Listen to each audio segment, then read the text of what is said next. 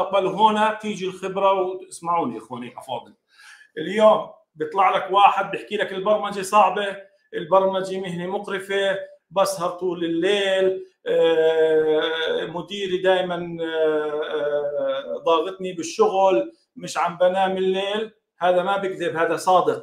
بس الروت كوز اللي هو الجذر المسبب لهذه المشاكل هذول عوارض عوارض ونتائج إنه هو ما تأسس في هذا المجال صح.